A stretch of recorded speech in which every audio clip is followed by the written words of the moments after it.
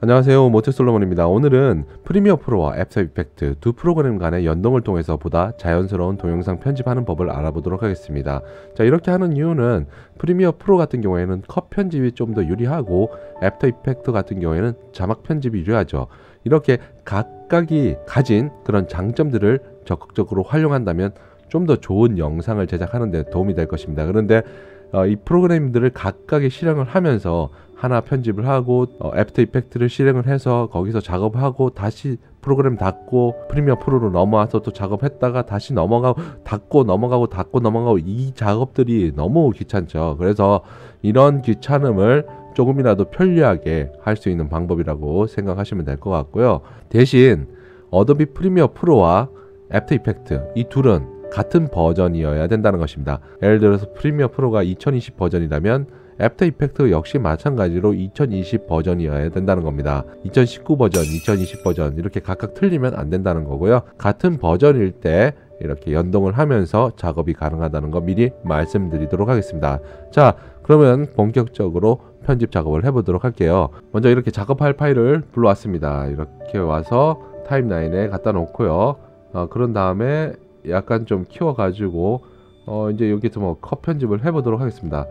여러 가지 컷 편집을 해서 왔다 갔다 하면서 어 편집을 한 다음에 자 이렇게 놔둔 다음에 어 여기서 이제 특정 하나 한 구간 한 구간을 선택을 해서 마우스 오른쪽 버튼을 클릭을 하면 After Effect Composition으로 바꾸기. 영문 버전의 경우에는 Replace with After Effect Composition이라고 되어 있으니까 참고하시고요. 자 이렇게 해서 After Effects Composition으로 바꾸기를 선택을 하면 곧바로 After Effect가 구동이 되게 됩니다. 자 여기서 프로젝트명을 이제 작성을 해주는데요 본인이 알기 쉬운 것으로 선택을 해주고요. 이렇게 작성한 다음에 엔터를 누르면 이렇게 조금 전에 컷 편집했던 게 그대로 불러와집니다 자 이렇게 불러와져 있는데요. 여기서 제가 글자를 하나 써볼게요.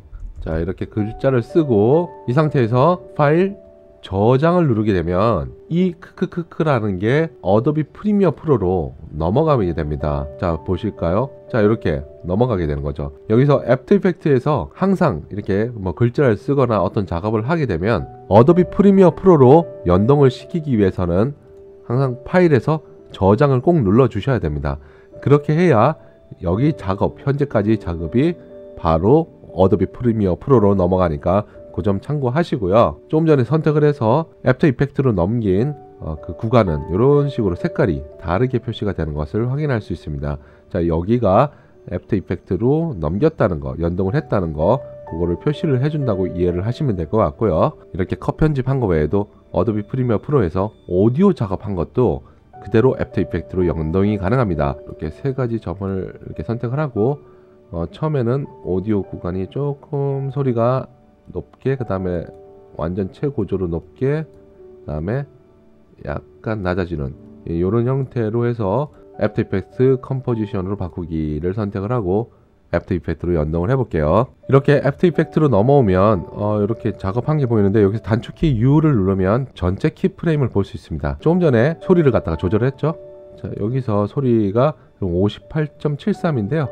어, 쭉 가면 이제 변하는 게 보이죠.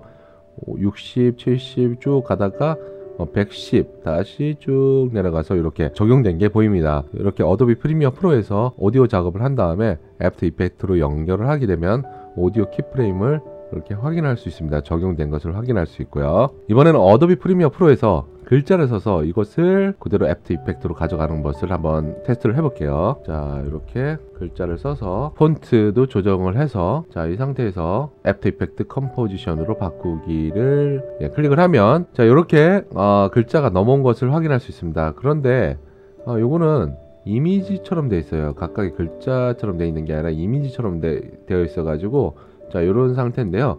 자 여기서 단축키 U를 눌러 가지고요. 이것을 이제 뭐 다른 위치라든지 크기라든지 아니면 뭐 투명도 값을 조절을 해서 그렇게 변형을 준 다음에 이 변형 값을 다시 Adobe Premiere Pro로 가져올 수가 있습니다. 어, 그 작업을 한번 해볼게요. 자 이런 식으로 위치를 제가 조정을 좀 해봤습니다 그런 다음에 저장을 누르게 되면 어, 여기에 어, 그대로 적용이 돼서 나타나는 것을 확인할 수 있습니다 자 이번엔 반대로 After Effect에서 Premiere Pro로 연동시키는 방법에 대해서 알아보도록 하겠습니다 간단하게 텍스트를 하나 연동을 할 건데요 자, 새 포지션 열고요. 폭이나 높이, 속도는 영상의 기준, 현재 작업하는 영상 기준으로 이렇게 맞춰주시면 되고요. 그리고 지속 시간 같은 경우에는 어, 적당하게 좀 길게 지금 저는 30분으로 했는데요. 이렇게 30분 정도 맞춰두면 뭐 충분히 넉넉하게 작업을 할 수 있습니다. 자 그렇고 확인 누르면 자 여기서 텍스트 아무거나 하나 제가 작성을 할게요.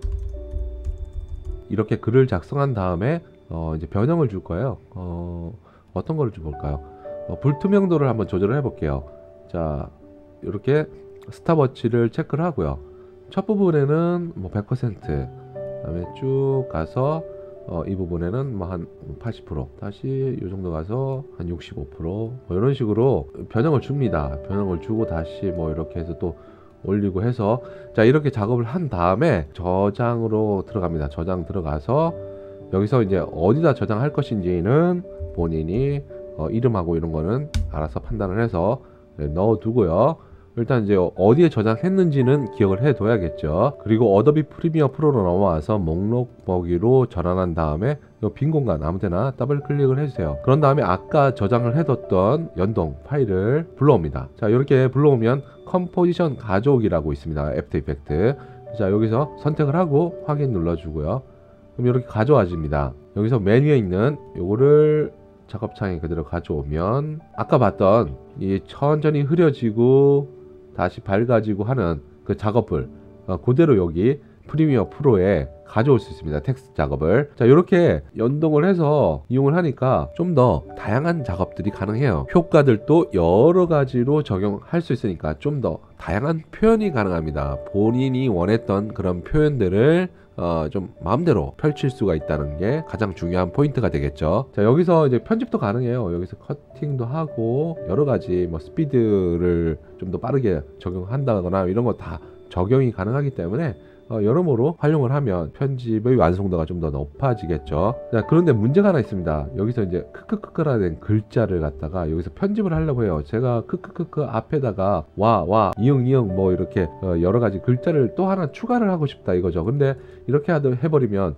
이미지화 되어 있기 때문에 이 글자 편집이 안 됩니다. 그럴 때는 여기다가 마우스 오른쪽 버튼을 클릭하고 원본 편집을 누르게 되면 자 이렇게 애프터 이펙트로 넘어오게 됩니다.